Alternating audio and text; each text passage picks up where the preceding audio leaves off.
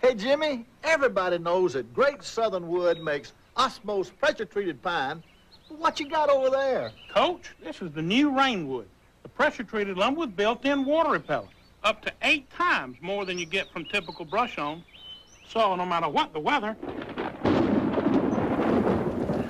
You're well protected. So remember, if it doesn't say Rainwood on the yellow tag, believe me, you don't want it.